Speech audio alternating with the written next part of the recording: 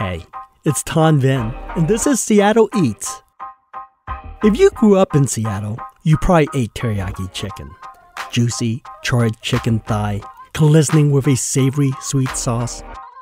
This dish is a Seattle invention, so it makes sense that there are hundreds of teriyaki joints in Western Washington. It's overwhelming to pick just one. Luckily, we have a friend to help us. Kenji López-Alt is the author of the James Beard Award winning cookbook, The Food Lab. You might recognize him from his YouTube channel or his work with the New York Times. Kenji is on a quest to eat at every teriyaki spot in Seattle. Today, we'll dive into what makes great teriyaki. And later, I talk to Kenji about one of our favorite restaurants in Colombia. It may move to the Seattle area, and we'll tell you what to expect if it does. But for now, let's head off on a teriyaki quest.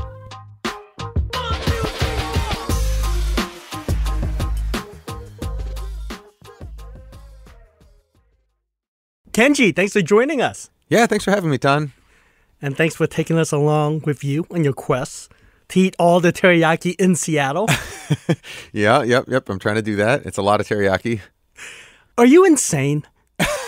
I don't think so. I mean, uh, it's my job, right? People people do things for the, for work all the time. I just happen to eat teriyaki for work right now. It's, And- it's a self assigned job, to be fair, but now you realize there could be, oh, I don't know, more than 200 teriyakis in the Seattle. if you stay in, in Seattle proper, I think it's actually a little less than hundred because I think I think before the pandemic it was a little over hundred, and now I think it's somewhere in the upper eighties. But it's yeah, it's it's a lot. It's a lot. And Kenji, you don't seem to realize the borderline, the zoning here, because you've gone to Mercer Island and outside the city for teriyaki. I, I have, yeah, I've done a little bit on the east side. I've done some on Mercer Island. You know, sometimes if I'm just passing through and I see a teriyaki joint, I got to stop in and see what it's like. You know, uh, but my goal is to get to all the ones in Seattle proper, uh, and I might, I might stray out of there a little bit if I, uh, you know, if I feel like I need to hit more. I can tell you, you probably have eaten more teriyaki than most teriyaki lovers in Seattle who's gone for decades. Because they don't venture out of their neighborhood when it comes to teriyaki. Well, that's the thing about teriyaki. You know, it's I'm a New Yorker, right? So I think of it as as New York's uh, pizza is to New York what teriyaki is to Seattle, where it's a ubiquitous food. It's all over. It's a very democratic food. It's it's rel- relatively inexpensive. It's not necessarily a destination food. There, there's some joints that are that I think are worthy of a trip uh, that are sort of destination teriyaki joints. But just like New York pizza, you, you go to the one that's closest to you, and it's good enough, right? That, that's sort of I think the idea. I love that you mentioned pizza and New York because is this our version of the New York slice? Is teriyaki a Seattle thing? Oh, absolutely. Teriyaki, as we know it in the the idea of chicken teriyaki. So chicken teriyaki does exist in Japan, but the way we know it in the U.S. is this sort of like you know big pieces of chicken thigh that are grilled, sliced, have a sort of sweet and savory sauce. Um, that is specifically started in Seattle. You know, it was by Toshi, who is now up in Mill Creek. You can still get teriyaki from the guy who created uh, what we know as teriyaki. Um, but uh, it was created in the 70s in Seattle, and Seattle is sort of the epicenter of chicken teriyaki in the U.S. So there's a higher concentration of chicken teriyaki in Seattle than anywhere else, uh, probably in the world, to be honest. Um, but certainly of this style of teriyaki, Japanese American style. That's why you still see so much so much of it in Seattle. We can't talk about teriyaki without talking about the godfather of it, the founder, the OG, Toshi. Toshi, yeah. You probably know more about the specific history than I do. I know that he was a, uh Japanese American immigrant uh, who, uh, you know, took traditional Japanese teriyaki and adapted it for the American palate. Um, and I know, you know, in, it was sometime in the 70s. You, you probably know the details of, of exactly where and when this was. Toshi opened, I believe, around March 1976. It was on Roy Street in Lower Queen Anne. And when I talked to him last year, it was almost like a speakeasy, he said. Not because he's trying to be secretive, but because he didn't have money to put on big signs and so forth. So it was a hard place to find. And what happened was in July 1976, the then restaurant critic, John Hinterberger, reviewed it This is the Seattle Times critic. yeah, the mm-hmm. Seattle Times critic reviewed it, which is groundbreaking at the time and even a little controversial because, quote, you didn't review Oriental places. These mm-hmm. were the kind of places that people looked at. And the fact that Seattle Times reviewed it kind of raised its profile. Uh-huh. And within weeks, he did not understand why there were lines out the door to check out this one dish. eventually he franchised the name and so there were a whole bunch of toshi's teriyakis and in fact many of them still exist but i know that at this stage, none of them are actually associated with Toshi anymore. I think they, they franchised the name, and then all of those got got sold off, and are now all independent independently owned. So you might find places that are called Toshi's Teriyaki and in fact have the same logo, but they're all independently owned now. And and you know, and, and then eventually Toshi went up to Mill Creek uh, and opened the spot that he's currently at, which is now I think the only the only authentic Toshi's Teriyaki in town, right? It is, and it's become sort of like I wouldn't say a tourist attraction, but people actually go to Mill Creek just to try his teriyaki, and plus to get a picture taken with him. Yeah, I mean it's like the mecca for teriyaki nerds, right? Yeah. Isn't this weird, Kenji? Because I feel like, like you mentioned, New York style pizza and Philly cheesesteak mm-hmm. and the Chicago dog. But we don't seem to claim teriyaki as our own, like other city. Right. It's not the same pride. I mean, you leave Seattle, you don't see other states doing, hey, chicken's teriyaki, Seattle style. Yeah. Right? I do think that's interesting, to be honest. Um, and, and in fact, I think many Seattle people who grew up in Seattle don't realize that it's so, such a unique thing to Seattle, and they leave Seattle and they're like, "Where are all the teriyaki joints?" You know, and it's just like you go to New York, there's you don't you don't have a teriyaki joint every two blocks like you do in Seattle. Yeah, it really is a, uniquely Seattle thing. But you know, maybe maybe we should try and change that. Maybe we should really uh, work on uh, increasing the infamy of Seattle teriyaki. Uh, and you know, so when you go to New York, maybe we should uh, tell people, hey, like, have you you should, you should check out this this new Seattle style teriyaki. We should encourage chefs to, to really name it Seattle style teriyaki because that, that is what it is. It's not it's not Japanese. It's not from anywhere else in the U.S. It's sort of really a uniquely uh, Seattle thing. Yeah. When you order teriyaki, it's Yeah. usually to go, or even if it's not to go, it's usually in a tray. So what goes on this tray? Break it down for me. Yeah, so so your basic teriyaki plate, you're going to get like a clamshell, a plastic clamshell. These days, hopefully, a compostable plastic clamshell. You're going to get a bunch of rice, and then ideally, you're going to get um, chicken thighs that have been marinated, grilled, sliced just before they put it in there, and then covered with uh, teriyaki sauce. And the teriyaki sauce, you can generally get it uh, sort of standard, which is sort of sweet and savory, or you can get it spicy, which will be generally it's going to be some kind of combination of like a chili sauce mixed with the teriyaki sauce. That's generally how they make their spicy sauces. And then also in that box, you're typically going to have a salad, chopped iceberg, maybe like three or four shreds of carrot, and that's about it. And then a sort of sweet and tangy dressing. Um, it's sort of a mayo a mayo based dressing that has some extra sugar. Generally, I also like to order gyoza with mine. Um, and when you order gyoza, it is almost always deep fried gyoza. The best chicken teriyaki. Um, well, ideally, it'll be you're, you're going to a place that's really busy, so there's fresh chicken coming off the grill all the time. So it'll be both fast and fresh.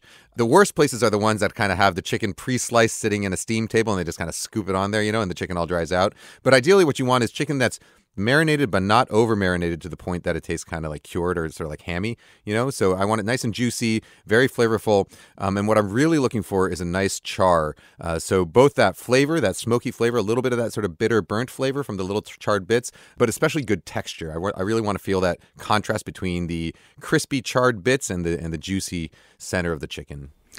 Kenji, I would say you hit the nail right on the head with the marinade.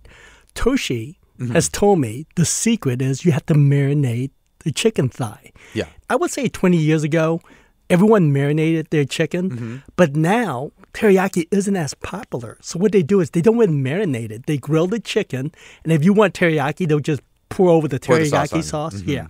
And that way, what they do is they'll have other items, and they'll like, hey, you want curry chicken? They'll just pour the curry over it. Right, Sweet right, and right. sour over it. But you're right. There's a big difference. Yeah, you know, because teriyaki, at least as a Japanese concept, it's not just a sauce, right? It's a process, right? It literally translates to like shiny grilled, you know. And the process of, of cooking something teriyaki, uh, you marinate it, and then as it's cooking, you're going to be brushing it with a sauce uh, that gives it this sort of shiny sheen to it. The other thing that a marinade does is it'll actually break down some of the proteins in the chicken so that um, as they cook, they, they, don't seize up as much, they don't squeeze out as much moisture. Uh, so a properly marinated chicken thigh is going to be juicier. It can be overdone. You know, sometimes you can tell a place has the chicken thighs have been sitting in that marinade maybe for a couple days. You slice it open and it has the texture almost of like uh, like packaged ham. You know, that's that's the texture of over marinated chicken. I, I don't think that's very good either. But when you hit that sweet spot where it has sort of a natural juiciness to it, but it doesn't taste hammy, uh, that that's sort of the ideal chicken teriyaki for me. When you go to a teriyaki shop, tell me how you break it down. You just look at the menu and go, hey, I'll get spicy today or I'll get sweet. I'll pick the sides. I try and keep a baseline. So I, will always just get the basic teriyaki, unless I'm repeating a place where, where I want to try some other stuff. So like I've been to Rainier Teriyaki a bunch of times and sometimes I'll get other dishes, but I want to compare apples to apples, you know, so I'll always just get a basic teriyaki, the basic teriyaki, whatever salad it comes with uh, by default. And then if there's the option of adding gyoza, I'll add gyoza. And that's sort of my, my yardstick order. And I hate that corn syrupy taste. It's too sweet. A lot of these cloyingly sweet. They can be, yeah. They, they certainly can be. Yeah, I, I like to have a sort of balance of sweet and savory. Um, and, and you know the, the flavor of a teriyaki sauce can vary. You know, some people will um, will take some sort of uh, you know Hawaiian influence and maybe maybe add some pineapple juice in there. Some people will add uh, you know ginger or garlic. Some of them just go straight with uh, you know soy sauce and sake and mirin, like a more classic Japanese style approach. But it, but it really, yeah, really, it, the sauce does actually vary quite a bit from location to location. What I sometimes like to do is I like to peek around, you know, because these places they they all look, most of them look pretty similar. You know, there's a counter you go up to, a kitchen in the back, and then oftentimes uh, they'll have like their wire shelving near the bathrooms where they keep like their tins of soy sauce and stuff like that. And sometimes you can look on those shelves and see, all right, are they are they making their own teriyaki sauce or are they buying the commercial one? And I would say another good tip, Kenji, is it's run by different ethnic group. Mm-hmm. A lot of Vietnamese who do teriyaki will mm-hmm. also do banh mi's. Uh-huh. And actually, teriyaki banh mi is pretty big. Yes. A Vietnamese shop run teriyaki, and I know three that do this. They use fish sauce to mm. add the umami and that glaze. A lot of Korean restaurant owners will add more garlic mm-hmm, to the mm-hmm. component. Mm-hmm. Or, or the spiciness will come from gochujang. You know, I think the original shops were run by Japanese American, uh, you know, Japanese immigrants. Um, but these days, you, you find a mix across a lot of the East Asian culture. So you'll you'll find Chinese run teriyaki shops, you'll find Japanese run teriyaki shops, uh, Vietnamese and Korean uh, in Seattle. I think those are the big four. And and generally, the the secondary items on the menu are what's going to give you the hint as to what uh, as to as to who's running that shop. So a, a, Vietnamese shop might serve uh, banh mi and pho a Korean shop might might serve uh, bibimbap or they might serve uh, galbi or something like that, and a, and a Chinese shop might serve like lo mein or General Tso's chicken or something like that. So I, I, always find that really interesting that this one sort of flagship dish, you know, ha- has helped many different immigrant communities start businesses that are you know that are successful. Yeah, and it's still true today. Mm-hmm. A lot of Vietnamese restaurants, teriyaki is on the menu. Yep. It might not be in the name, but it is on the menu. Mm-hmm, mm-hmm. But still, the basic concept of the teriyaki sauce. I think it's easier than people realize. How do you make a teriyaki sauce? The very basic one, the most classic, sort of simplest Japanese style teriyaki sauce, you would take uh, soy sauce, sake, um, and then mirin, which is like a sweet rice wine. And the mirin is what gives it that gla- you know, that glazy shininess. Um, and you basically just take those three ingredients uh, and cook them down until it until it reduces to sort of a syrupy glaze. You can you know you can add other ingredients in there. Sometimes what I'll do is I'll I'll throw like the uh, the ends of some carrots if I have some like onion scraps or some scallions, uh, maybe a couple slices of ginger and some garlic, um, maybe some mushroom scraps. I'll throw it all in there. So in the same way that I'm like fortifying a stock, um, I would add those ingredients in there. I might even add like a piece of kombu, sea kelp, to give it some more of that umami depth. So Japanese style sauce tends to be thinner than what you would expect um, in a more American style teriyaki glaze. So you know most American style teriyaki glazes will have will be thickened with cornstarch so that they get a little bit thicker and a little bit sort of shinier. Um, and so you know if you're going to do that, you would take a cornstarch slurry. Um, and add it to that sauce as it's as it's reducing. Some people, you know, especially the commercial sauces, are going to have things like corn syrup in there to help thicken them. Um, and you know, corn syrup does also give a nice glaze to it. But but like you said, I think the corn syrup adds um, yeah, that's cloyingness without without really adding any flavor. So I tend to. I mean, personally, I don't use it at home. Although, yeah, I think there are shops that use it and it, and it tastes just fine. You know? oh, oh, I would say a lot use yeah, it. Yeah, and a lot uh-huh. use cornstarch. Mm-hmm. A lot of cornstarch. Yeah. So tell me some of the ones that you like, some of the teriyaki shops that you like that you've had. Yeah. Okay. So my go-to is uh, Rainier Teriyaki. It's on Rainier Ave down towards Columbia City. Excellent, excellent place. They really nail, nail that uh, that char and that juiciness. Uh, in West Seattle, Grillbird, which is a um, you and I went there, you know, yeah. like a few years ago. Um, it's a more sort of modern Hawaiian influenced take on teriyaki. They're a little bit fancier looking than the other places, and, and their sides are more interesting. Because well, their sides are interesting because they are typical sort of uh, Hawaiian box lunch sides, so things like macaroni salad, things like that. To be honest, it is one of those things where most of the time it's not worth traveling out of your neighborhood for, you know it's like you, you don't have to hop in the car to get teriyaki you just walk down the street right like that's that's the point of teriyaki i think yeah i, I don't think there's a, there's any teriyaki where i'm like oh i need to go to bellevue for this one teriyaki style that has more fish sauce on it or something like that You're yeah, right. Well, yeah. And I would say Grillbird, and we both met at Grillbird Mm-hmm. first time. I think their sides are too fancy for a teriyaki Yeah, joint, yeah, it is. right? It, it definitely is. Uh, it's it's not your typical teriyaki experience for sure. Yeah, it's it's a different experience. I would say they have the best sides of all the teriyaki places I've been to. I mean, there, there's something about that uh, that chopped iceberg salad for me that I that I really enjoy. You know, just the, the simplicity and and I- feel like you know that that iceberg, the crunchiness and sort of the wateriness of iceberg. It's kind of like a, a palate cleanser between bites of teriyaki. You know, I, and uh, no, I, you know, I think there is something to say for for that simple um, iceberg side. But Now, I don't understand this dressing that goes on the salad because Mm-hmm. I never see this anywhere except teriyaki dish. So tell me about this dressing that goes on the salad. It's basically uh, like a thin mayonnaise that's sweetened. If you're in England, you can get like salad cream, you know, which is sort of like a thinned out mayonnaise. Um, but but this stuff is a little bit sweeter.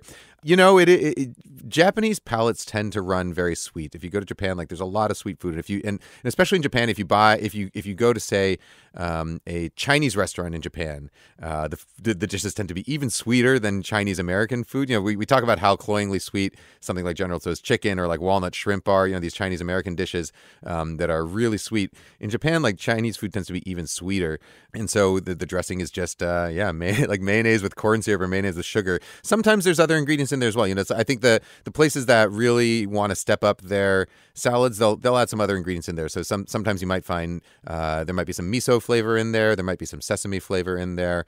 Um, but you know, but it, it, it really is sort of that, that as simple as like a kind of tangy mayonnaise with, with with extra sugar added to it. The dumplings.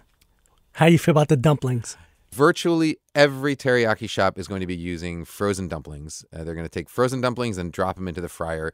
The only difference you're really going to find is sort of the quality of the frozen dumpling that they're using, because sometimes you can tell, yeah, some some frozen dumplings are better than others. So some of them are just going to be really dry. Sometimes the the skins are freezer burned, and so they come out really tough. But really, it's going to be the quality of the frozen dumpling, and then how well they fry it. You know, um, and you know, and, and the idea of fried of fried dumplings, fried gyoza. It's not uncommon in Japan. Me and my two sisters, we would sit around like about once a month, maybe every other month, and we'd help my mom fold dumplings. Like she'd put us in front of the TV and we'd just fold dumplings, you know, and then we'd have them in the freezer. At dinner time, we would eat some of them uh, done sort of pot sticker style, you know, so uh, crispy on the bottom and steamed on top. Uh, but my mom would always take, you know, a handful of them, maybe a dozen of them, deep fry them in the wok, um, and then pa- pack them into our, our, our bento the next our lunchbox the next day. Um, and so deep fried dumplings um, is actually quite common in Japan, and, and typically it's used as like eaten cold the next day or eaten, eaten at room temperature inside a bento. But you know what it is, is what I like about it is that when you deep fry dumpling skins, gyoza skins, they puff up, they get this sort of like egg roll wrapper texture to them. You get lots of these kind of little micro blisters, you know, um, and then that makes them really good at absorbing sauce. Like a steamed dumpling, the sauce kind of runs off, uh, and it has it's a very different eating experience. Whereas a whereas a deep fried dumpling, when you dip it in the sauce, it all, it absorbs it, and you get this kind of crispy, soggy texture, which is to I think an American palate sounds strange because when we get our foods crispy, we like to keep them crispy. But in, in many other other cultures, like in, in Japanese culture, in Mexican culture, a dish like chilaquiles, you know, something like that. There's a lot of Chinese dishes, say like. Um, puffed chicken feet you know? They they get them really nice and puffy and crispy and then they douse them in sauce and they braise them until the the idea of like taking uh something that's been fried until puffy and then soaking it in a in a sauce so that it ab- absorbs those flavors um, is sort of a prized technique um, so I, so in that sense I, I actually kind of like the texture and the sauce absorbing flavor of uh, of a deep fried dumpling. I would say that I think teriyaki is the best value Mm-hmm. in Seattle still. Hmm, yeah No one has ever eaten an entire teriyaki plate and say, I'm still hungry. No one. anytime you say nobody anytime you make absolute statements like that you're gonna find someone to prove you wrong you're right. You're right. There's always someone out there challenging. yep Is there a method that does madness, or do you just drive around and go, oh, there's a teriyaki I, shop? I have a map. I think if you go on Google Maps and you search for like Kenji's Seattle Teriyaki Tour, um, I have a public map that'll pop up that shows you uh, the teriyaki joints I've been to, as well as a links to my you know reviews on Instagram or YouTube about them. But no, I you know I, I keep a running map, and and basically yeah, if I get to a new neighborhood, I'll search around for teriyaki and, and double check if it's if it's been you know because at this point sometimes I don't even remember all twenty five you know all the ones I've been to, so I want to make sure I don't repeat them. Uh, but yeah, you know I, if I go to a new neighborhood, I'll just say okay, where's the where's the teriyaki joint around here, and I'll, I'll just find it and I'll go. At some point, you know, as I get towards the end, I'm sure I'll have to to start actually seeking it out. You know, it, it, to me, it feels like I'm playing um, like a video game. Like I'm playing like like uh, Zelda. You know, where at the beginning you just kind of wander around and see what you can see, but then as you get to the end, if you want 100 percent it, you gotta you gotta be really methodical about it and seek out those hidden corners and like search every search every cave and dungeon until you find all the secrets. Um, so at some point, I think I'll get to there. I'll be peeking into manholes for hidden teriyaki joints. So like that. You know, I remember when we first had teriyaki together mm-hmm. in West Seattle. Mm-hmm. You said one of the benefits is you get to see the city. It gives you an excuse to check out other parts of the town. Yeah, yeah, yeah, yeah. No, I, I love that. That you know, because teriyaki is so ubiquitous and every neighborhood has, has a teriyaki joint. Just by virtue of the fact that I want to get every get to every teriyaki joint, I'm going to end up visiting every corner of the city, which is which I think is a really fun way to discover a city. How many do you think there are left? Well, I've been to 25. So if I'm going to the ones just in Seattle, I think there's about 60 left. You know, it's 60 to 70 left. And if I want, and then if I want to stray out, you know, to the east side, if I want to go north south, which you have, it can go, it can go on and on and on. You know, like I, will never finish. Have you been to Mill Creek, the original? no, I haven't. You know that that's I have not been up to Mill Creek yet. That's yeah. I want I want to make a special trip out of that. So I've been kind of holding it off. Although you know, I I, I should probably do it before Toshi decides to retire. You know. Yeah, it could happen anytime could, soon. Yeah, I mean, he keeps talking about it. Yeah, he's he's he's in his 70s now. Is that right? I believe so. Yeah. Still in good health, though. Mm-hmm. Will we see a teriyaki recipe in your book? well, I mean, I am working on a new book. Uh, it's not going to be out for a couple years. It's kind of another real big book um, that is. Uh, designed to teach you how to cook and how to make recipes your own, But how to free yourself from recipes and, and turn dishes into your own food. There probably will be uh, some some work on teriyaki in there. You know, I'm, I'm going to be relaunching my website kenjilopezalt.com um, as well as starting pr- to produce a new video series on YouTube, and uh, I'm sure I will visit teriyaki uh, when I do that. Um, and when I do, I think what I want to do is you know really talk about all the different styles of teriyaki that I've experienced in Seattle, really pay homage to the immigrant communities that have brought the dish over and have adapted it. Because there's a real real range of what teriyaki has become, um, and, and, which I find really fascinating. So even when you say like, "Oh, I'm going to make teriyaki at home," okay, well, like what kind of teriyaki? Because it's, it's, it's you know it's not just a single dish anymore. It's, it's kind of this range of dishes. Um, so uh, yeah, at some point I think I will have my own personal recipe out there that um, you know draws from elements of everything I've been tasting around Seattle. I have this dream of having a um, street festival, a teriyaki festival, where oh. we get some of the best teriyaki joints, close down the block for uh, for a couple days, and just have a street festival with live music and twenty different teriyaki joints, all all serving their style of teriyaki and whatever the their specialty is. Um, I think it'd be fun, and I think oh, it'd be, be a, a, real, real good celebration of um, you know one of Seattle's indigenous foods, you know, one of Seattle's native foods. That's it for our teriyaki chat with Kenji, but he's sticking around. In a minute, We'll talk about our experiences traveling and eating far from Seattle in the cities of Colombia. And we'll tell you about one of Kenji's favorite Colombian restaurants that might be moving here. Be back in a moment.